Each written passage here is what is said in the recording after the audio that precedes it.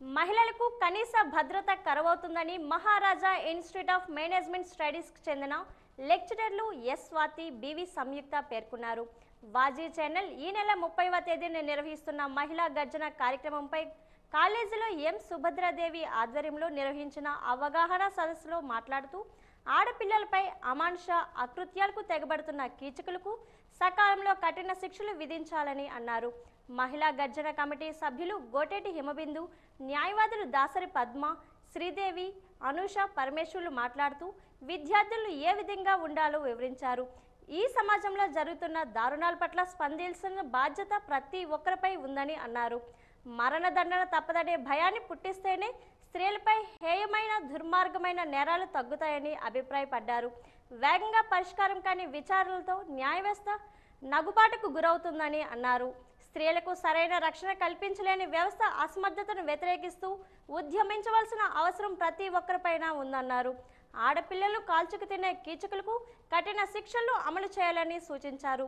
ఈ కార్యక్రమంలో పలువురు విద్యార్థులు పాల్గొన్నారు. గాంధీయే చెప్పారు ఎప్పుడైతే మహిళ ఒంటరిగా నడుచుకొని వస్తారో అప్పుడే మనకు స్వతంత్రం వచ్చినట్టుగా ఒక మహాత్మా గాంధీ గారే చెప్పారు. ఈ రోజుల్లో ఆడపిల్లలు కనాలన్నా భయమే. ఒక సింగిల్గా నడుచుకొని వెళ్ళాలన్నా భయమే. అంతేందుకు లేడీస్ ఇవి వాజీ ఛానల్ వల్లే ఒక క్రియేట్ చేసి పెట్టారు. ఒక పెద్ద ఆవిడే బస్సు రాకపోతే నా కాల్లో డ్రాప్ చేస్తాను రామ్మని తీసుకొని వెళ్ళి ఆ అమ్మాయిని. మొత్తం మంది ఏదో ఇస్తే శృగ తప్పిపోతే అది ఇంకొకరికి అమ్మడం ఏదో ఒక లేడీసే చేస్తున్నారు డబ్బులకి. ఎన్ని సినిమాల్లో కూడా చాలా సినిమాల్లో కూడా చూపించారు. వీళ్ళు ఎవరిని మనం నమ్ముతాము? ఒక మనిషిని మనిషి నమ్మలేని సమాజంలో ఉన్నాం మనం ఇప్పుడు. మనం నమ్మేది ఆ భగవంతుడికే నేనైతే. భగవంతుడిని నమ్మితే ఎదుటివారి మనసును కూడా మారుస్తాడేమో అనిపిస్తుంది. మనం బయటికి వెళ్తున్నాము. అంటే పక్కన ఉన్న వాళ్ళు మంచోలే అందరూ మంచోలేనండి ఆ సిచ్యువేషన్ ఆ క్రియేటివ్ని బట్టి వాళ్ళు మారిపోతారు. సింగిల్ ఒక ఆడది ఉండగానే ఏదో చెయ్యాలన్న ఆలోచన అవతటి వ్యక్తికి వచ్చేస్తుంది ఆటోమేటిక్గా అది పుట్టిన పెంపకాన్ని బట్టో లేకపోతే సమాజంలో చూసి నేర్చుకుంటున్నారో ఏంటో తెలియదు కానీ అలాగా సిచ్యువేషన్ వచ్చేస్తుంది.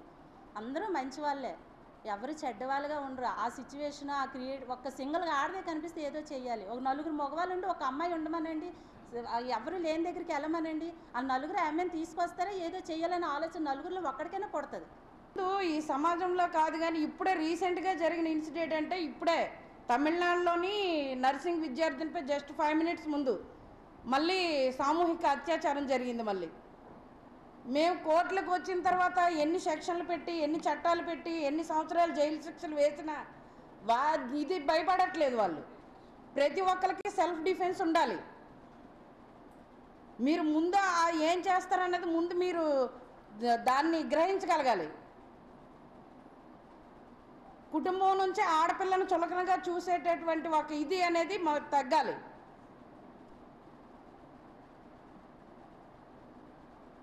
కాబట్టి మరి మీరే కొంచెం ఆలోచించి రేపు సెప్టెంబర్ ముప్పయో తారీఖున మహిళా గర్జన కార్యక్రమం జరుగుతుంది. వాజీ ఛానల్ వరకు ఇవి చేశారు మనకి ఏర్పాటు చేశారు.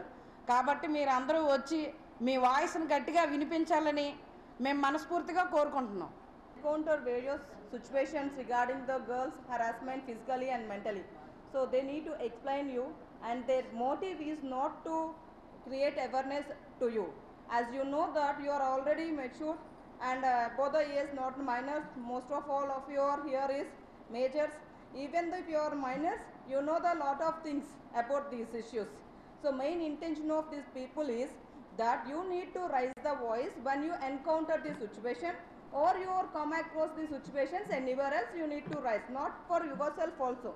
If you look at any child is abused by someone else nearby you you need to raise the voice.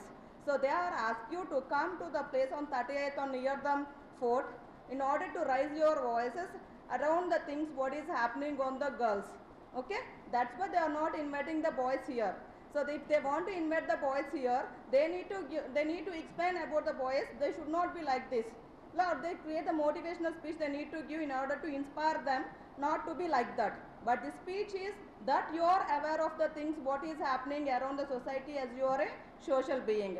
That's the main intention is you need to join into that activity and you should raise the voice that I am here whenever whatever is happened in the society, I am there to safeguard myself and to give help or uh, safeness to other people who is around there. When conducting this type of programs, conducting awareness among the girl students or women, and uh, being a girl student, 90% of the girls they are facing the problems. So you should aware of each and everything, and you should protect yourself.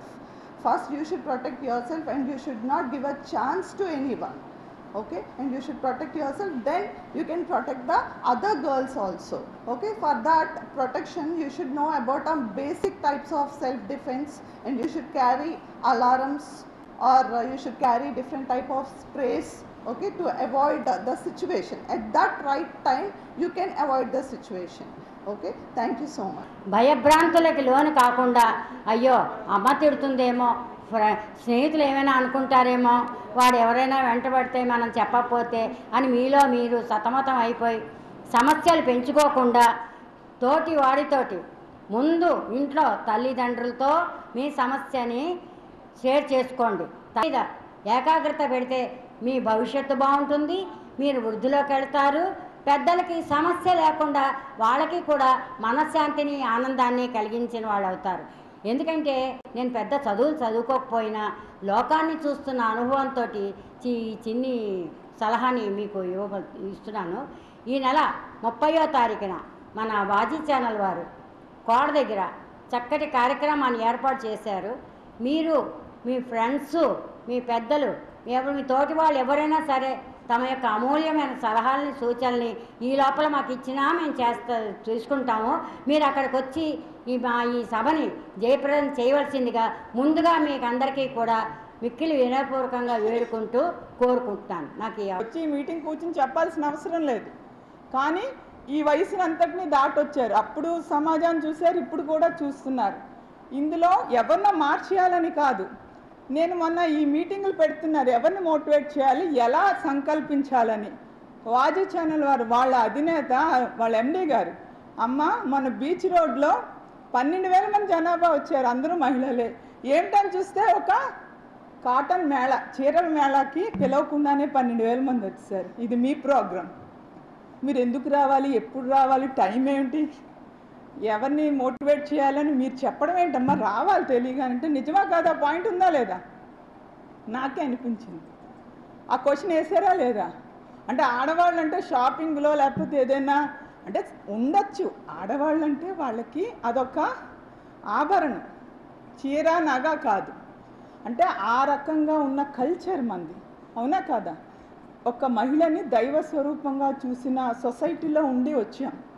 వాటి మీద ప్రేమ మక్కువ అంటే ఒక cotton చీరని అంత జాగ్రత్తగా చూసుకున్నప్పుడు లేకపోతే మన దగ్గర ఒక ఈ కలర్ ఉందని పది షాపులు వెతికి వెతికి లేని కలరో లేకపోతే ఇంకోటో ఓపికగా చూసుకునే ఓపిక ఉన్నప్పుడు మన హక్కుల గురించో లేదా మన కష్టం గురించో మాట్లాడడానికి మనకెందుకు